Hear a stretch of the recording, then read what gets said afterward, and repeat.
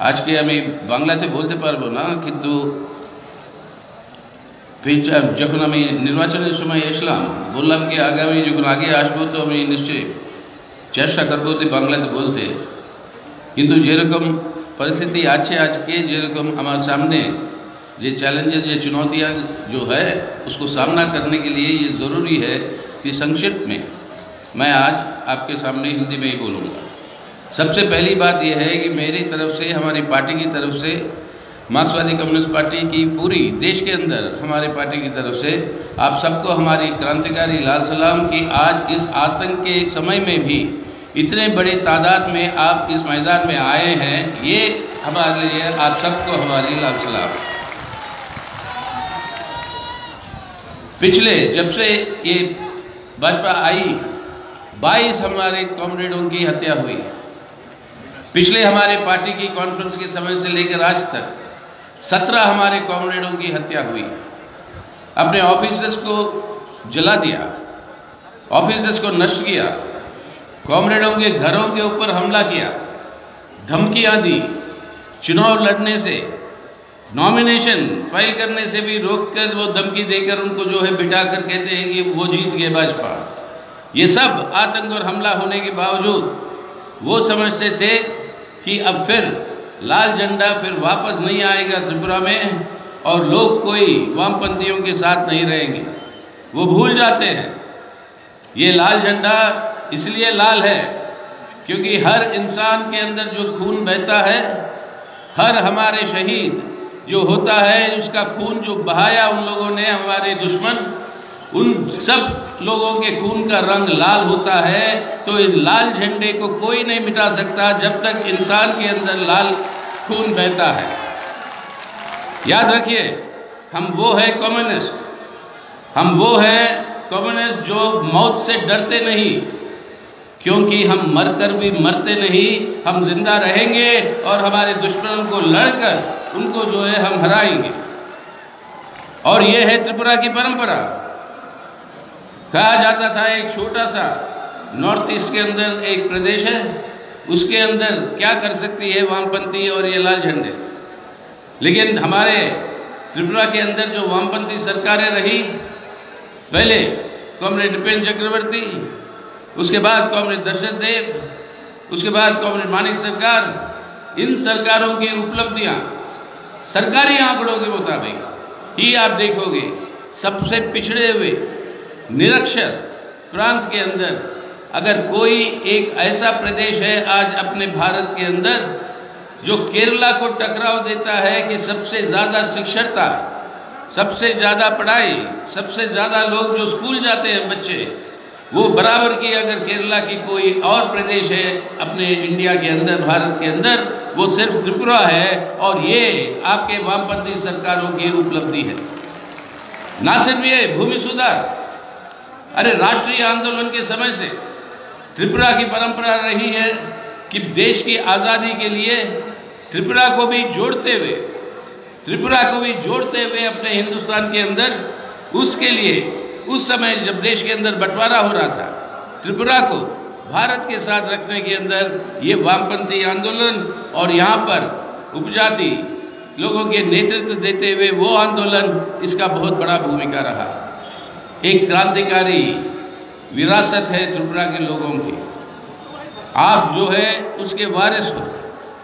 अब ये क्रांतिकारी इतिहास को अगर आज बरकरार रखना है तो ये चैलेंज देना होगा आपके सरकार को और भाजपा को। अगर आप निष्पक्ष तरीके से चुनाव कराओगे, बिना हिंसा के और जनतांत्रिक तरीकों से, आइए आप रखिए अपनी बात जनता के सामने, हम रखेंगे अपनी बात, और जनता को चुनने दीजिए कौन वो चाहते हैं, कौन नहीं चाहते हैं। लेकिन ये हिंसा सब खत्म करके सीधा आप जनतांत्रिक तरीके से चुनाव लड़िएगा तो ये निश्चित है कि भाजपा हारेगी, वामपंथी जीतेगी, और फिर से वामपंथी सरकार जो है यहाँ पर बन पाएगी। अगर वो माहौल लाना है तो आज इस हिंसा के खिलाफ लड़ना है। वो माहौल लाना है। हम लड़ेंगे इनको जनतांत्रिक तरीके से। हम लड़ेंगे हमारी जनतांत्रिक व्यवस्था को बरकरार रखने के लिए। हम लड़ेंगे हमारे संवैधानिक जो अधिकार है, उस अधिकार को बरकरार रखने के लिए। और इनका पूरा का पूरा उद्देश्य क्या है? इनका पूरा का पूरा उद्देश्य उसी संविधान को ध्वस्त करें, उसी संवैधानिक अधिकारों को ख़त्म करें और लोगों के सामने हिंसा, नफरत और उसके आधार पर डरा कर लोगों को अपनी समर्थन में हासिल करने की कोशिश करें। इसके बावजूद आज क्या हो रहा है उत्तर प्रदेश में? क्या हो रहा है पंजाब में? क्या हो रहा है बाकी प्रांतों में जहाँ पे चुनाव हो रही है? इससे पहले चुनाव हुए थे आपके तमिलनाडु में, आपके केरला में, आपके बंगाल में, और सब जगह बीजेपी को हारना पड़ा। और इस बार भी उत्तर प्रदेश के अंदर संकेत यही मिल रहा है प्रधानमंत्री बहुत यात्रा कर रहे हैं। बहुत सरकारी पैसे से सरकारी प्लेन लेकर, सरकारी गाड़ियाँ लेकर अपने चुनाव प्रचार कर रहे हैं। वो चुनाव प्रचार का क्या है मुख्य उद्देश्य? आज देश के अंदर बेरोजगारी बहुत बढ़ गई। हमारे देश के अंदर नौजवान, जो हमारा देश का भविष्य, इस नौजवान को अगर हम आज नौकरी देते और देने के लिए देश के अंदर साधनों की कोई कमी नहीं है। केंद्र सरकार वो वो पब्लिक इन्वेस्टमेंट करे, वो जो है निवेश करे, जो सड़कें चाहिए हमें, जो हमारे लिए सिंचाई के जो सुविधा चाहिए, जो सब सुविधा चाहिए हमारे इंफ्रास्ट्रक्चर के लिए उसको बनाए, करोड़ों हमारे नौजवानों को नौकरियाँ मिलेंगी। और वो नौजवान जब अपना तनख्वाह जो है खर्च करने लगेगा, ये बंद पड़े कारखाने सब खुलने लगेंगे। आर्थिक विकास भी होगा, लोगों की तरक्की भी होगी और लोगों की जान बचा सकते हैं हम। लेकिन आज वो काम नहीं कर रहे। क्या कर रहे हैं? देश की जो जितने भी साधन है, उसकी लूट मची हुई है। सब दे देते हैं। जो नारा जो लगा है, दो है हमारे प्रधानमंत्री के, जो मुख्य दोस्त, जो बड़े बड़े बड़े हमारे देश के पूंजीपति है। सब चीज़ हमारे देश के अंदर उनके हाथों में जाता है। सब एयरपोर्ट गया उनके एक दोस्त के हाथ में। सब हमारे पोर्ट, यानी जो बंदरगाह पानी के साथ जुड़े हुए पोर्ट है, वो सब उन्हीं के हाथ में जाता है। देश के अंदर पूरा टेलीकॉम, अपना मोबाइल फ़ोन, उसका पूरा का पूरा कब्ज़ा एक करना चाहता है। पेट्रोल के ऊपर, तेल के ऊपर कब्ज़ा, वो दूसरा करना चाहता है। यानी पूरी देश की संपत्ति के ऊपर आज लूट मची हुई है। और ये लूट जो है, वो बेचा बेचा जा रहा है। बेचा जा रहा है आज हमारे बड़े पूंजीपतियों को, जो हमारी संपत्ति है। आज जो निजीकरण हो रही है, हर संस्था की देश के अंदर, लाखों के तादाद में हमारे देश के अंदर मुलाजिम और हमारे देश के अंदर मजदूरों की नौकरी की छटनी हो रही है। छटनी हो रही है पब्लिक सेक्टर के अंदर। और ये पब्लिक सेक्टर आज मोदी साहब को और भाजपा को ये बताना पड़ेगा, बड़ी ज़ोर से। भाई, देश का पब्लिक सेक्टर, देश की आर्थिक संपत्ति का मालिक देश का जनता है। सरकार जो आता है, प्रधानमंत्री जो आते हैं और जो जाते हैं, वो प्रधानमंत्री और वो सरकार सिर्फ़ मैनेजर है संपत्ति के, मालिक नहीं है। अगर कोई मैनेजर बिना मालिक के, अनुमति के संपत्ति बेचना चाहता है तो जो आज जो लोग हैं जिनके जो मालिक है इस संपत्ति के, वो लोग इस मैनेजर को बदलकर नया मैनेजर ले आएँगे और ये बदलाव करना जो है, आज ज़रूरी है त्रिपुरा के अंदर और भारत के अंदर। तो लोगों की समस्याओं के ऊपर एक शब्द नहीं बोलते प्रधानमंत्री इस चुनाव प्रचार में। सिर्फ़ जो बोलते हैं, वो बोलते हैं नफरत पैदा करना।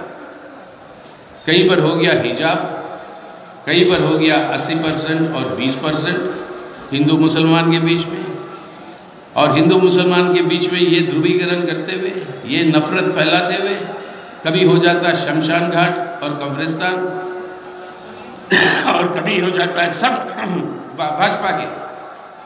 राज्यों के अंदर ये कानून बना दिए, गोरक्षा के नाम पर या लव जिहाद के नाम पर, किसी न किसी बहाने से। बंटवारा करो, फूट डालो लोगों के बीच में। ये फूट, ये सिर्फ़ हिंदू मुसलमानों के बीच में ही नहीं, आज ये फूट हर अल्पसंख्यकों के साथ हो रहा है। हमारे दलित भाइयों के ऊपर देखो, भाई और बहनों के ऊपर देखो अत्याचार। जिस तरीके से घोर अपराध उत्तर प्रदेश के अंदर हमने देखा, दलित हमारी बहन के साथ, जो 20 साल की भी नहीं थी, उसके साथ बलात्कार करके उसका खून कर देना। हर बार उस तरीके से अत्याचार जो है हमारे दलितों के ऊपर होती है। हमारे मुसलमान भाई बहनों को, उनको किस तरीके से उनके ऊपर इस नफरत और हिंसा पैदा फैला रहे हैं, जिसके चलते हुए कि भारत के नागरिक है या नहीं है, उसके ऊपर जो है प्रश्न चिन्ह उठाते हैं और इसका नेतृत्व कौन करता है? देश का प्रधानमंत्री। आज हमारे देश के अंदर आदिवासियों के ऊपर, उपजातियों के ऊपर लड़ लड़ के इस लाल झंडे ने, लड़ लड़ के इस लाल झंडे ने फॉरेस्ट राइट्स एक्ट यानी आपके जंगलों में रहने की अधिकार उपजातियों की, उसके लिए कानून बनवाया।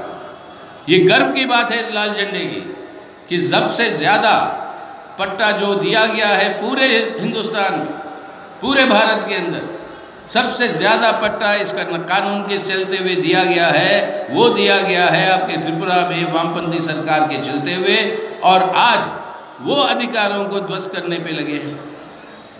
हज़ारों एकड़ हमारे जंगलों को आज जो है बेच रहे हैं विदेशी पूंजी के लिए, बड़े पूंजीपतियों के लिए, ताकि वहाँ पर वो कोयले का और बाकी चीज़ों का खदान करें ये करें माइनिंग करें। इसके चलते हुए लाखों की तादाद पर हमारे उपजाति और आदिवासियों को अपना घर छोड़कर वो जो है भटकना पड़ रहा। यानी दलितों के ऊपर, आदिवासियों के ऊपर, महिलाओं के ऊपर, इन सब पे जो अत्याचार जो बढ़ रहे हैं, इनके बारे में क्या है प्रधानमंत्री जी और ये केंद्र सरकार के सुझाव? किस तरीके से समस्याओं का हल करेंगे? उसके ऊपर एक भी बात नहीं। पूरी की पूरी बात होती है कि एक ध्रुवीकरण पैदा करो। एक ध्रुवीकरण पैदा करो ताकि एक सांप्रदायिक वोट बैंक का, वोट बैंक का जो है उसको जो है मज़बूत करे। सबसे गंदा आज कोई वोट बैंक पॉलिटिक्स कर रहा है, देश के अंदर वो है हमारे, वो है भाजपा और हमारे प्रधानमंत्री। और ये वोट बैंक पॉलिटिक्स के चलते हुए लोगों की एकता को तोड़कर, वो अपने स्वार्थ के लिए, अपनी भारत और भारत के संविधान को ही वो ध्वस्त करने जा रहे हैं। ध्वस्त किए जा रहे हैं। और सब संस्थाओं के ऊपर, आज पहले क्या होता था? यहाँ पर अगर निर्वाचन होते थे, आपके त्रिपुरा के अंदर या कहीं पर भी, देश में, कोई भी गलत भाषण अगर किसी ने बोला निर्वाचन में इलेक्शन कमीशन फ़ौरन उस पर कार्रवाई लेती। आज नफरत भरा हुआ, नफरत भरा हुआ भाषण जो है, कई सारे हो रहे हैं उत्तर प्रदेश में, हमारे अल्पमत के समुदाय के खिलाफ, हमारे मुसलमान भाइयों, बहनों के खिलाफ। लेकिन एक पर भी कार्रवाई नहीं, एक पर भी कार्रवाई नहीं लेती इलेक्शन कमीशन आपके कोर्ट कचहरी, सुप्रीम कोर्ट पे तीन तीन साल से पड़ा हुआ है कि वो 370 धारा ख़त्म करके जो जम्मू एंड कश्मीर को ध्वस्त कर दिया था उस राज्य को, क्यों किया? क्योंकि एकमात्र एकमात्र मुसलमान मेजॉरिटी स्टेट है पूरे देश के अंदर तो उसको जो है, आप जो है उसको ख़त्म करो, वो उद्देश्य है। और ये केस पड़े हुए हैं नागरिकता की कानून के ऊपर। या वो जो पैसे इकट्ठा कर रहे हैं, आज जो एक राजनीतिक भ्रष्टाचार को जो बढ़ावा दे रहे हैं इलेक्ट्रल बॉन्ड्स के चलते हुए, लाखों करोड़ों रुपए भाजपा ने इकट्ठा कर दिया, जो खर्च करते हैं, यहाँ पर आपके चुनाव के समय पर, ये सब केस आज पड़े हैं कचहरी पे, सुनवाई शुरू नहीं हुई। पार्लियामेंट को ही ठीक ढंग से चलने नहीं देते, अपनी बहुमत के हिसाब से कानून बना देते हैं।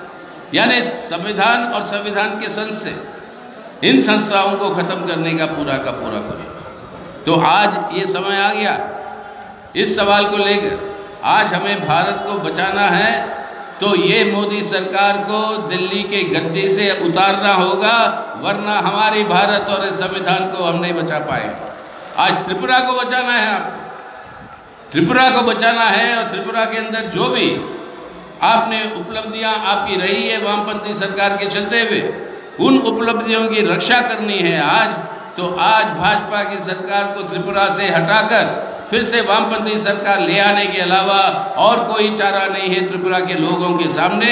और उसके लिए आज प्रतिबंध है मार्क्सवादी कम्युनिस्ट पार्टी। इसलिए आज जो यहाँ पे जो हो रही है हमारी राष्ट्रीय सम्मेलन जो दो दिन का सम्मेलन कल सुबह से जो शुरू होनी है कि आज की वर्तमान परिस्थितियों में ठोस रूप से किस तरीके से आज त्रिपुरा के अंदर ये जो चैलेंज है हमारे सामने कि जो कभी सुना नहीं त्रिपुरा में उपजाति और आपके मेजोरिटी आप, आपके बाकी लोगों के बीच में जो एकता जो वामपंथियों ने जो बना रखा जो सुरक्षा जो सुरक्षा जो हमारे अल्पसंख्यकों के लिए है और ख़ास तौर से अपने मुसलमान भाई बहनों के लिए है, वो सुरक्षा की हालात आज उस सबको ध्वस्त किया जा रहा है। अरे आज भी बांग्लादेश में, अगर आप चले जाएँगे बांग्लादेश की मुक्ति के लिए, अगर किसी का नाम वो लेते हैं, और वहाँ के प्रधानमंत्री शेख हसीना, वो खुद आई थी यहाँ पे, आपके अगरतला में, क्यों? ये आपको आप सबको धन्यवाद बोलने के लिए कि बांग्लादेश की मुक्ति के लिए किस तरीके की समर्थन त्रिपुरा के लोगों के और त्रिपुरा की सरकार उस समय की वामपंथी सरकार से मिला। आगे मिली थी गवर्नमेंट मानिक सरकार के साथ, जो मुख्यमंत्री के साथ। यानी वो मुसलमान हिंदू की की दायरा कभी इस लाल झंडे उस तरीके से बंटवारा कभी नहीं करते। हम हैं तो हम इंसान हैं। इंसानियत का एक ही कायदा होता है, इंसान का वो है इंसानियत। और वो इंसानियत जो भी आपकी मज़हब हो, इंसानियत के आधार पर सरकार को और प्रशासन को चलना। है और उस तरीके की वातावरण लाना है आज तो आपको आज फिर से जुटकर इतनी बड़ी तादाद में जो आप आए हैं, ये अपने आप में संकेत है। अभी कॉमरेड जितेंद्र चौधरी हमें बता रहे थे कि कई हज़ारों के तादाद में साथी जो आने, आना चाह रहे थे इसराइली के, वो अभी भी आने नहीं दिया जा रहा है उनको रेलवे स्टेशनों में, बस स्टैंडों में, बसों में, और बसें जो किराए पे भी लिए थे, उन सबको जो है कैंसिल किया जा रहा है। ये सब होने के बावजूद, डराने के बावजूद, धमकी देने के बावजूद, हिंसा के बावजूद, इस तादाद में जो आप यहाँ पे आए हैं, ये हमारे लिए एक प्रोत्साहन है पूरे हिंदुस्तान के लिए। कि त्रिपुरा की जनता आज दृढ़ता है उनके अंदर, आज निश्चित कर चुकी है कि आज त्रिपुरा के अंदर ये हिंसा और नफरत की वातावरण नहीं चलेगी। आज फिर से जनतांत्रिक आधार पर संवैधानिक व्यवस्था को पुनर्कायम करेंगे और उसके लिए भाजपा को हटाएँगे और वामपंथी सरकार को ले आएँगे। ये जो विश्वास जो आज इस रैली में जो नज़र आ रही है, ये प्रेरणा है पूरे हिंदुस्तान के लिए आज। सब जगह लोग लड़ रहे हैं। हर चुनाव के अंदर आज लोग लड़ रहे हैं भाजपा के खिलाफ। और जो बर्बादी जो की जा रही है हमारी अर्थव्यवस्था की, लोगों की जिंदगियों के साथ, और आज तक खिलवाड़ हो रहा है। सुप्रीम कोर्ट के दबाव में आकर पचास हज़ार रुपये हर परिवार को देने की बात के लिए सरकार को मानना पड़ा, जो पहले नहीं मानती थी। जहाँ उस परिवार के अंदर कोई इस कोरोना कोविड महामारी से कोई एक एक उन, उस परिवार के अंदर जो, जिनकी जान चली गई, उन लोगों को पचास हज़ार रुपये मिले। आज क्या कर रही है सरकार? कितने लोग मरे हैं अपने देश के अंदर, उसको सही ढंग से नहीं दिखा रही है, ताकि ये पैसे बचाने की ये है सरकार की इंसानियत। कितने मरे हैं, उसका सही आंकड़ा आज तक ये सरकार देती नहीं।